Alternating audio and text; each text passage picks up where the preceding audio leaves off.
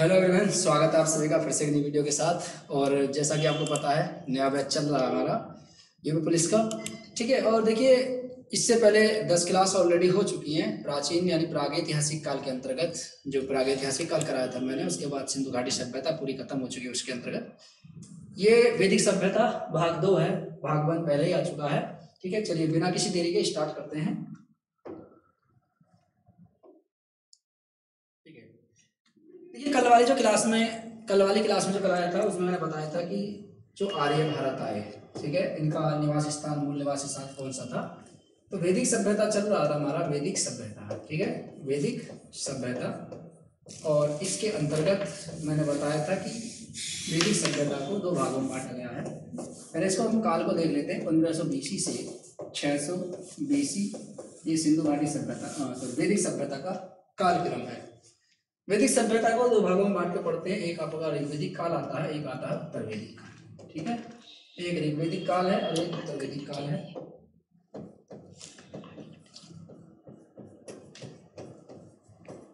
ऋग्वेदिक काल और एक है उत्तर वैदिक काल। ठीक है? उत्तर वैदिक काल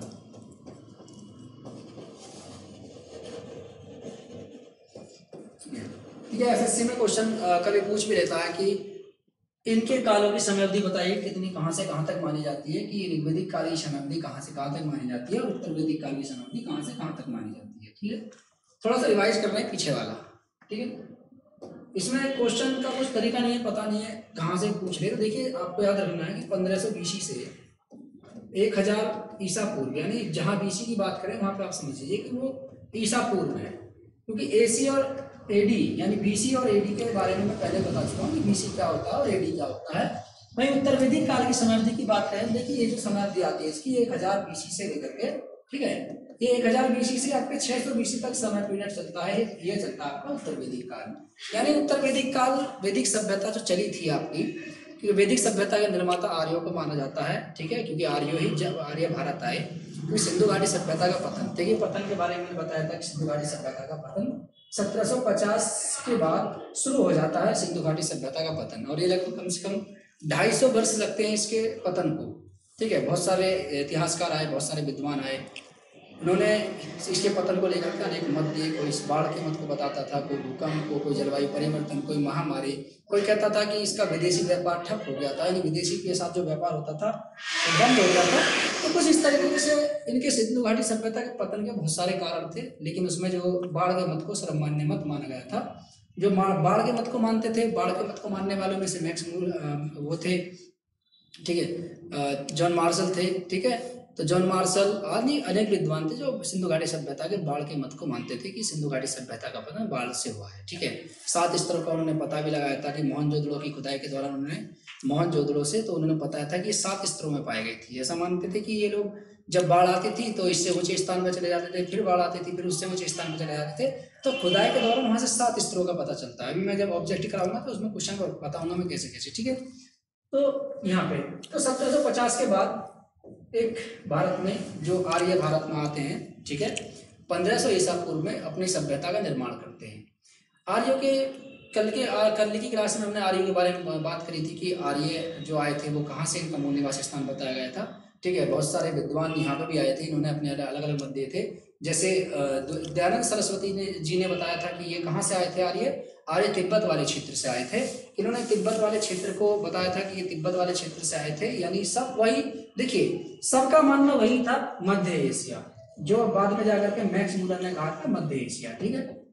मध्य एशिया देखिए, आप देखेंगे मध्य एशिया। और मध्य एशिया देखिए, एशिया महाद्वीप आप देखेंगे। तो एशिया महाद्वीप के जो वो वाला भाग है, एशिया महाद्वीप के, ठीक है? तो एशिया महाद्वीप के मध्य में जो है, उसे हम मध्य एशिया कहते हैं। इसमें बहुत सारे वो आते हैं देश, ठीक है? कजाकिस्तान, तुर्कमेनिस्तान, उज्बेकिस्तान, ठीक है? तो ये कुछ इस प्रकार के देश आते हैं। तो सबने वही चीज़ बताई थी। किसी ने तिब्बत बता दिया, किसी ने आपके ईरान बता दिया, ईरान वाले क्षेत्र किसी ने कहाँ से बताया? किसी ने यूक्रेन वाला क्षेत्र बता दिया रूस वाले क्षेत्र बता दिया, किसी ने उत्तरी ध्रुव वाला क्षेत्र बताया। तो सबका मत वही था कि आर्य कहाँ से आए थे, सबने यही सबने यही निर्धारित किया था, सबने यही बताने की कोशिश करी थी, आर्य यहाँ के निवासी न होकर के एक विदेशी जनजाति थी, जो पंद्रह सौ पंद्रह सौ ईसा पूर्व से पहले भारत में आ चुकी थी, लेकिन इन्होंने पंद्रह सौ ईसा पूर्व में वैदिक सभ्यता का निर्माण किया, ये मानते थे लोग। ठीक है? तो इसमें इन्होंने दो कालों का निर्माण किया, एक था आपका ऋग्वेदिक काल, एक था उत्तर वैदिक काल। वही ऋग्वेदिक काल को पूर्व वैदिक काल भी कहते हैं, याद रखना पूर्व वैदिक काल, ठीक है? पूर्व वैदिक काल भी इसका नाम है, दूसरा नाम इसका पूर्व वैदिक काल है, ठीक है? पूर्व वैदिक काल। समाप्ति वही है इसकी, ठीक है? क्योंकि उत्तर वैदिक काल की समाप्ति जो मानी जाती है, वो एक हज़ार ईसा पूर्व से मानी जाती है, क्योंकि यहाँ पर लोहे की खोज हो जाती है। ऐसा भी मानते हैं कि लोहे की खोज, लोहे के बारे में लोग एक पंद्रह सौ ईसा पूर्व में लोहे का प्रयोग होता होता था उस समय। लेकिन ज़्यादातर जो लोहे का प्रयोग होना शुरू हुआ था, वो छह सौ ईसा पूर्व के बाद बाद लोहे का प्रयोग होना शुरू हुआ था। लोहे की खोज तो देखिए, एक हज़ार पिछहत्तर बीसी में होती है, ठीक है? आप देखेंगे, एक हज़ार पिछहत्तर बीसी। फिर ये प्रमाणिक समय अवधि है जहाँ से लोहे की खोज मानी जाती है। यहाँ पर लोहे की खोज हुई थी, एक हज़ार पिछहत्तर बीसी में लोहे की खोज हुई थी। और लेकिन लोहे के बारे में अभी भी भारतीय लोग परिचित नहीं थे। ये कौन से लोग परिचित थे? वर्तमान में अफ़गानिस्तान वाला जो क्षेत्र है, उस उस उसके जो लोग थे, वहाँ के निवासी जो थे, इससे परिचित थे। ठीक है, कुछ पाकिस्तान, वर्तमान जो पाकिस्तान वाला क्षेत्र है, आप देखेंगे मेहरगढ़ वाले क्षेत्र में तो मेहरगढ़ वाले जो आप, ऋग्वेद प्रागैतिहासिक काल के अंतर्गत जो मैंने पढ़ाया था, मेहरगढ़, उस मेहरगढ़ के आसपास के जो लोग थे तो वहाँ के लोग लोहे के बारे में जानते थे। ये 950 के आसपास लोग लोग इस लोहे के बारे में जान चुके थे। लेकिन वर्तमान भारतीय क्षेत्र की बात करें तो वर्तमान भारतीय क्षेत्र में लोग 850 लगभग 850 बीसी के आसपास लोहे के बारे में जान पाए। ठीक है, इन्हें लोहे के बारे में ज्ञान हुआ कि यहाँ लोहा भी एक धातु होती है, क्योंकि अभी तक देखिए कांसा, कांस्य युग चल रहा था। तीन काल चलते हैं अभी तक, देखिए, पहला चलता है आपके पत्थरों का युग, जिसे स्टोन एज कहते हैं, उसके बाद कांस्य युग कांस्य युगीन सभ्यता चली थी, जिसे सिंधु घाटी सभ्यता कांस्य युगीन सभ्यता, प्रथम नगरीय सभ्यता, उसके बाद लोह युगीन सभ्यता चली। इसे लोह युगीन सभ्यता कहते हैं, लोह क्रांति भी कहते हैं। ठीक है? क्वेश्चन ये आ जाए ऑब्जेक्टिव में बन गया कि निम्नलिखित में से लोहे क्रांति किसे कहा जाता है? तो वहाँ पे आप देखिए, अगर ऋग्वेदिक काल वहाँ पे लिखा हो तो आप वैदिक सॉरी वैदिक सभ्यता वहाँ लिखा हो तो आप ऑप्शन में टिक कर देना कि हाँ वैदिक सभ्यता लोहे युग से संबंधित थी, क्योंकि उत्तर वैदिक काल पूरा का पूरा लोहे लोहे का प्रयोग होता था इसमें, और सबसे ज़्यादा जो प्रयोग हुआ था गंगा और यमुना वाले द्वार क्षेत्र में हुआ था, ठीक है? चलिए वापस चलते हैं अपने टॉपिक पे। देखिए तो इसे पूर्व वैदिक काल भी कहते हैं, समय अवधि कितनी है इसकी? पंद्रह सौ से लेकर के छह सौ। इसके मूल निवास को लेकर के बात करी थी तो आज जो हमारा टॉपिक है, आज का जो हमारा क्लास है, वो है ठीक है? सिंधु ऋग्वेदिक काल के जानकारी के प्रमुख स्त्रोत कहाँ कहाँ से हमें इसके बारे में जानकारी मिली? ठीक है? यानी वैदिक सभ्यता के बारे में जानकारी के प्रमुख स्त्रोत वैदिक सभ्यता की जानकारी के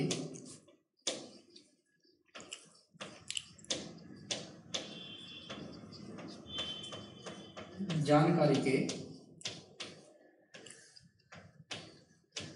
प्रमुख स्त्रोत ठीक है? प्रमुख स्त्रोत ठीक है? यानी वैदिक सभ्यता की जानकारी के प्रमुख स्त्रोत कौन कौन से हैं? देखिए, इसके अंतर्गत दो स्त्रोतों को रखा गया है। ठीक है? वो दो स्रोत कौन कौन से हैं? ठीक है? एक आपका आता है पुरातात्विक स्रोत। याद रखना, पुरातात्विक। एक पुरातात्विक स्रोत है। एक पुरातात्विक स्रोत और एक आपका साहित्यिक स्रोत।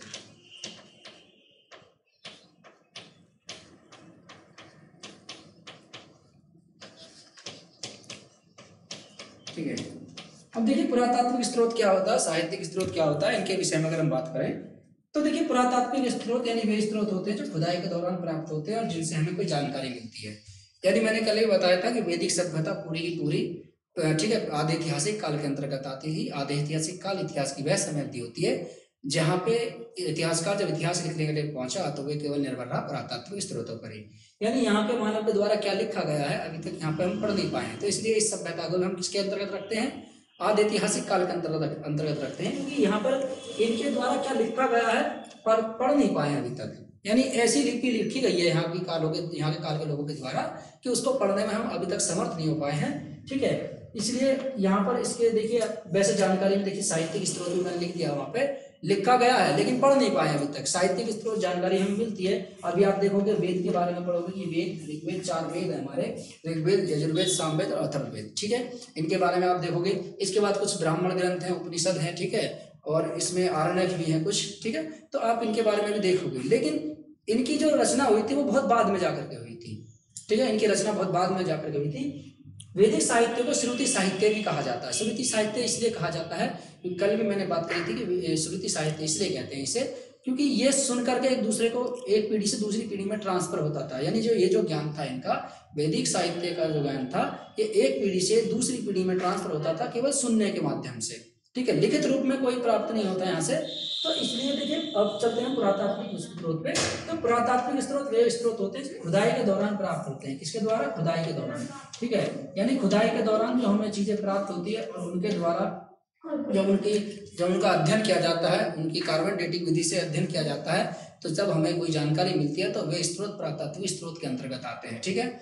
जैसे आपके भवन हो गया, कुछ खुदाई के दौरान सिक्के प्राप्त हो गए, कोई स्तूप प्राप्त हो गया, ठीक है? जब उनका अध्ययन किया जाता है तो उसके बारे में हमें जानकारी मिलती है। उससे हमें जानकारी मिलती है उस काल से संबंधित कि उस काल के लोग किस प्रकार से थे, क्या करते थे, कैसे रहते थे खान पान कैसा था, संस्कृति कैसी थी, सभ्यता कैसी थी, ठीक है? तो यहाँ पर आप ले सकते हैं, भवन हो गया, ठीक है भवन हो गया कोई, ठीक है, स्तंभ हो गया, सिक्के हो गए, ठीक है, बर्तन हो गए तो ये कुछ इस प्रकार के जो होते हैं, जो खुदाई के दौरान प्राप्त होते हैं, हम प्रातात्विक स्त्रोत में रखते हैं। वहीं साहित्यिक स्त्रोत की बात करें तो साहित्यिक स्त्रोत में वे स्त्रोत आते हैं, जो किसी लिखित स्वरूप में हमें प्राप्त हो और जिनसे हमें कोई जानकारी मिलती हो। वैसे वैदिक सभ्यता के बारे में लिखित रूप से कोई जानकारी हमें नहीं मिलती है, इसलिए इसे आदि ऐतिहासिक काल के अंतर्गत रखा गया था, ठीक है? अब बात करते हैं प्रातात्विक स्त्रोत में तो प्रातात्विक स्त्रोत के अंतर्गत कौन कौन से थे? देखिए, प्रातात्विक स्त्रोत के अंतर्गत आप इसे एक बार चाहो तो स्क्रीन शॉट कर लीजिए, उसके बाद आगे चलते हैं इसी टॉपिक को लेकर के।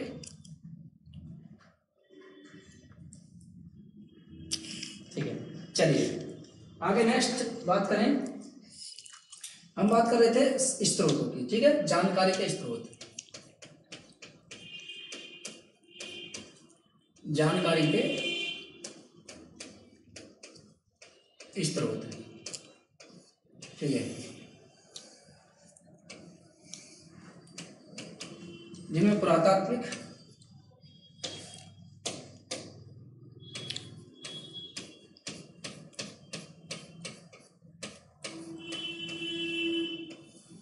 और एक था आपका साहित्यिक।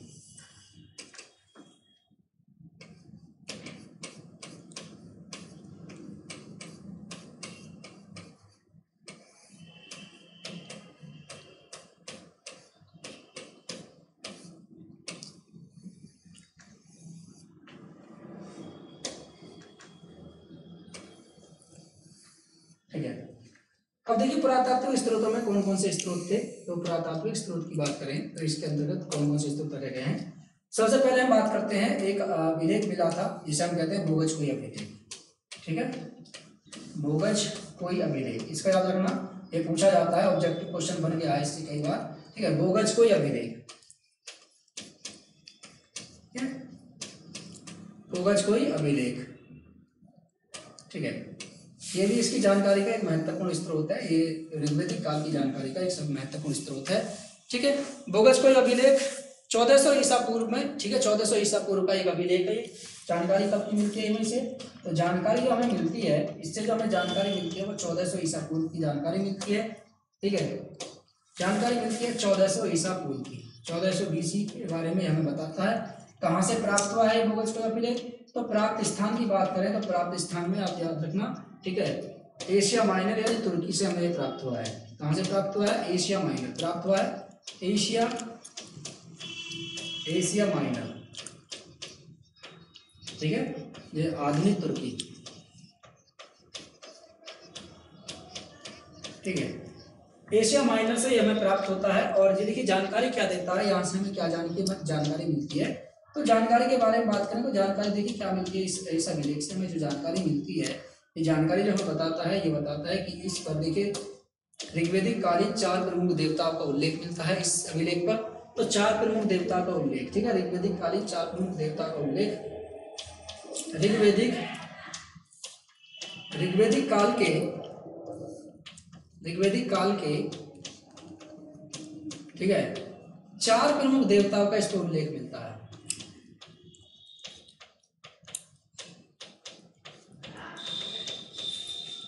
देवताओं का इस पर उल्लेख मिलता है।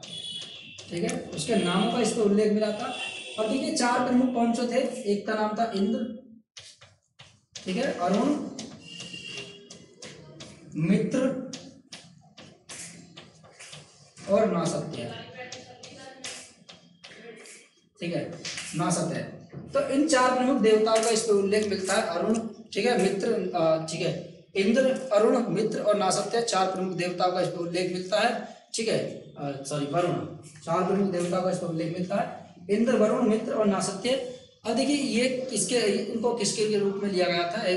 तो देखिए, यहाँ पर देखिए, यहाँ पर चौदह सौ ईसा पूर्व में दो कबीले थे, नाम याद रखना, खत्ती और मितनवी ठीक है? खत्ती और मितनवी ठीक है? मितनवी ये दो प्रमुख कबीले थे, चौदह सौ ईसा पूर्व में, ठीक है, एशिया मायने तुर्की में। दो प्रमुख कबीले थे, खत्ती और मितनी ये दोनों प्रमुख कबीले थे। इन कबीले के मध्य ये एक युद्ध हुआ, छोटा मोटा एक युद्ध हुआ था। अब उस युद्ध में क्या हुआ था, इनकी बार बार इनकी हानि हो रही थी बार बार क्षतिपूर्ति हो रही थी। अब इन्होंने क्या काम करा, इन्होंने युद्ध न करने का निर्णय लिया। दोनों कबीलों ने युद्ध न करने का निर्णय लिया और इन्होंने, इन प्रमुख देवताओं को इन्होंने साक्षी के रूप में बनाया, ठीक है ये गवाह के रूप में रखा और इन्होंने इनकी कसमें खाई और कहा कि हम आज के बाद कोई युद्ध नहीं करेंगे। तो इनको प्रमुख देवताओं को साक्षी के रूप में रखा गया था।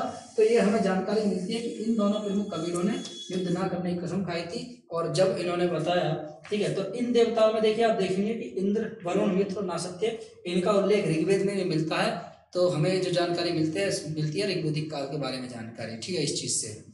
किससे भोगज को अभिलेख से किसके बारे में जानकारी मिलती है? ऋग्वेदिक काल के बारे में जानकारी, क्योंकि इन देवता का उल्लेख ऋग्वेद में मिलता है और इन देवता का उल्लेख भोगज को अभिलेख में मिलता है। ठीक है? आगे नेक्स्ट बात करें तो देखिए, मिट्टी के बर्तन, यानी मृद भांड गेरिक मृद भांड ठीक है? नंबर दो पे बात करें तो गेरिक मृद भांड कौन से? नंबर दो, गेरिक मृद भांड अब देखिए, गेरिक मृद भांड कौन से थे? गेरिक मृद भांड ठीक है? मृद भांड ठीक है? गेरिक मृत भांड की बात करें तो गेरिक मृत भांड क्या होता है? देखिए, गेरिक गेरिक मतलब होता है गेरवा कलर, ठीक है? क्या होता है? गेरवा कलर, आपने देखा होगा जब ग्रहण वगैरह पड़ते हैं तो वहाँ पर गेरू लगाते हैं, ठीक है? पशुओं के सींगों पर भी गेरू लगाया जाता है, ठीक है? तो गेरू का इस्तेमाल किया जाता है तो यहाँ पर क्या थे? जो मिट्टी के बर्तन चले आ रहे थे, ठीक है? मिट्टी के बर्तनों की कला तो देखिए वहीं से शुरू हो गई थी। मिट्टी के बर्तन बनाना प्रारंभ हो गया था नवपाषण काल से, क्योंकि नवपाषण काल में ही जब पहिए का आविष्कार होता है, नवपाषण काल में भी जब पहिए का आविष्कार होता है तो चाक का आविष्कार हो जाता है। जब चाक का आविष्कार होता है तो मिट्टी के बर्तन बनने शुरू हो जाते हैं और बर्तनों पर कलर भी होना शुरू हो जाता है, ठीक है? लेकिन अब इन्होंने क्या करा था? इन्होंने गेरवे रंग का प्रयोग करना सीख लिया था, ठीक है? क्योंकि ऋग्वेदिक काल में ये जो आपके देखिए, सिंधु घाटी सभ्यता से ही बर्तनों का प्रयोग होना भी शुरू हो गया था, ठीक है? अब यहाँ पे क्योंकि सभ्यता सभ्यता से मतलब होता है कि कुछ समझ समझ, ठीक है? मानव के जीवन में कोई परिवर्तन होना, एक सभ्यता की ओर अग्रसर होना, ठीक है? तो यहाँ पर क्या था? जो बर्तन थे, बर्तन जो थे, उन पर कलर जो था, वो गेर, यानी गेरवा रंग का कलर था। तो ये भी हमें एक जानकारी देते हैं ऋग्वेदिक काल के बारे में जानकारी। तो बर्तनों से भी हमें जानकारी मिलती है, ठीक है? कभी ऑप्शन में आए तो आप, वहाँ पे लगा देना। अगर गेरिक मृत भांड भी आए तो ये भी ऑप्शन सही हो जाएगा, ठीक है? उसके बाद इराक से एक अभिलेख मिला था ठीक है? इराक से अभिलेख मिला था बाईस सौ ईसा पूर्व का, ठीक है? तो इराक से एक अभिलेख मिला था, नंबर तीन की बात करें तो नंबर तीन पे, ठीक है? अभी साहित्यिक स्त्रोत पर बाद में चलेंगे तो नंबर तीन में देखिए, इराक से एक अभिलेख मिला था, इराक, ठीक है? इराक से एक अभिलेख मिला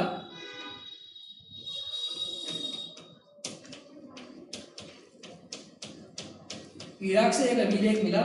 और देखिए, ये जो जानकारी देता था, इसके बारे में जो हमें जानकारी मिलती है, वो बाईस सौ ईसा पूर्व, यानी जब भारत में सिंधु इसमें सिंधु घाटी सभ्यता का काल था तो उस काल के बारे में हमें जानकारी देता है। ठीक है? तो बाईस सौ ईसा पूर्व के बारे में इसमें जानकारी मिलता है इराक से एक अभिलेख प्राप्त हुआ था। ठीक है? जो बाईस सौ ईसा पूर्व आज से लगभग सॉरी जो बाईस सौ ईसा पूर्व का था, और ये हमें जानकारी देता है ऋग्वेदिक काल के बारे में। ठीक है? आगे एक और अभिलेख प्राप्त हुआ था, जिसे हम हिट्टाइट का अभिलेख कहते हैं। हिट्टाइट अभिलेख जो उन्नीसवीं सदी यानी उन्नीसवीं ईसा पूर्व से, ठीक है, सत्रहवीं ईसा पूर्व तक के बारे में हमें जानकारी देता है। तो हिट्टाइट अभिलेख, ठीक है? कौन सा? नंबर चार की बात करें तो हिट्टाइट अभिलेख, ठीक है?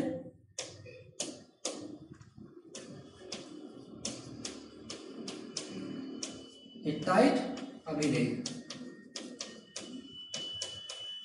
हिटाइट अभिलेख जो जानकारी देता है 1900 बीसी से जो समय पीरियड की जानकारी देता है 1900 बीसी के से लेकर के 1700 बीसी के बीच की हमें जानकारी मिलती है इस अभिलेख से। 1900 बीसी से 1700 बीसी, ठीक है?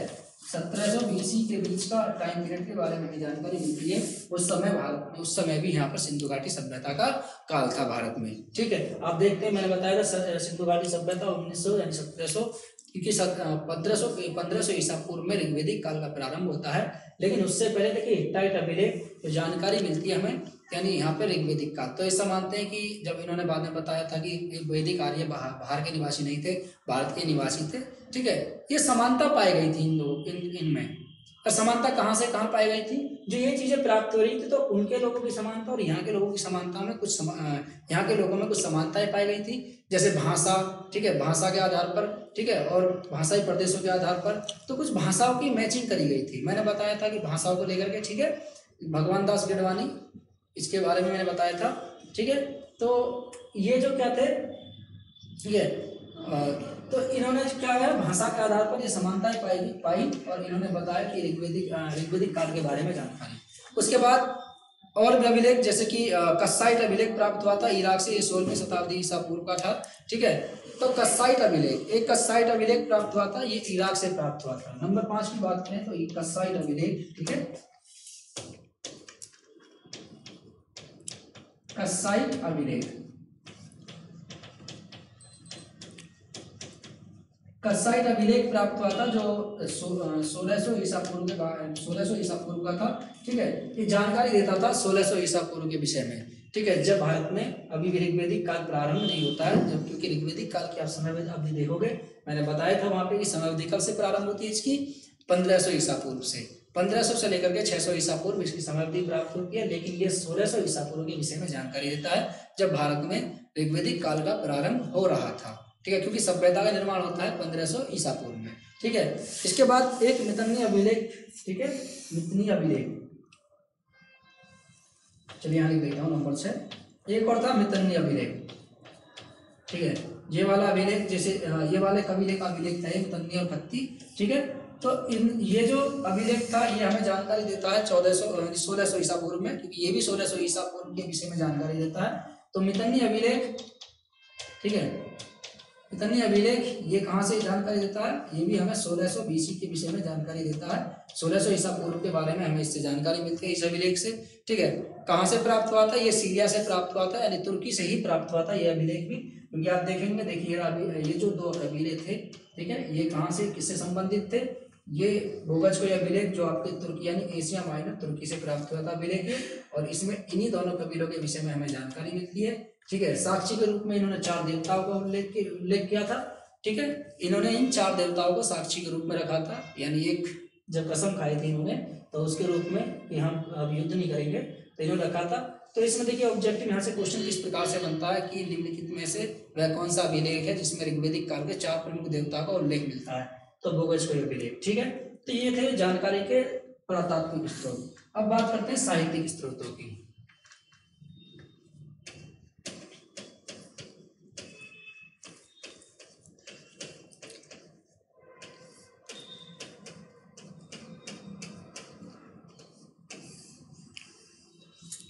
साहित्यिक स्त्रोत की बात करें इसमें चार वेद, ठीक है? ग्रंथ यानी ब्राह्मण ग्रंथ, उपनिषद और आरण्यक।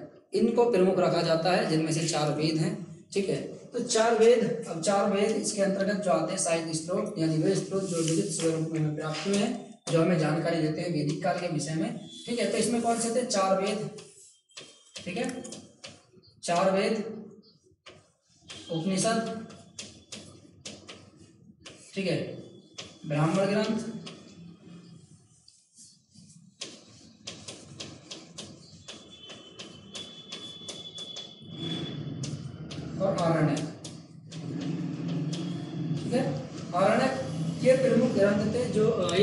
ये स्त्रोत थे जो ऋग्वेदिक काल के विषय में जानकारी देते हैं, ठीक है? अब देखिए, ये जो पहले चार वेद थे, चार, ठीक है, इन चारों में से जो ऋग्वेद आपका ऋग्वेद क्षेत्रवेद सामवेद और अथर्ववेद, इन चारों में से पहले जो तीन वेद थे, इनको वेद त्रय कहा जाता है, एक क्वेश्चन आता है ऑब्जेक्टिव बनता है यहाँ से कि वेद त्रय किसे कहा जाता है? तो पहले के जो चार पहले के सॉरी पहले के जो तीन वेद थे, उन तीनों में से जैसे ऋग्वेद, यजुर्वेद, सामवेद, ठीक है, अथर्ववेद को इसमें सम्मिलित नहीं किया जाता है। तो ये चारों वेदों में से पहले तीन वेदों को वेदत्रयी कहा जाता है। याद रखना, क्वेश्चन अगर पूछ ले वहाँ पे ऑब्जेक्टिव वन कहा जाए वेदत्रयी किसे कहा जाता है? तो प्रथम तीन वेदों को, यानी ऋग्वेद, सामवेद और यजुर्वेद, ठीक है? यजुर्वेद, ठीक है? इन तीनों को क्या कहा जाता है? वेदत्रयी कहा जाता है। इतना याद रखना वेदत्रयी किसे कहा जाता है, ठीक है?